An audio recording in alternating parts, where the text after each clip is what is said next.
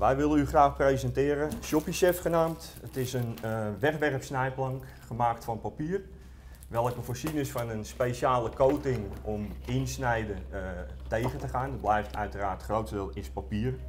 Uh, het is een hygiënisch aspect. Um, je gebruikt op verschillende manieren, kan je ermee snijden. Ik ben niet zo goed in snijden hoor.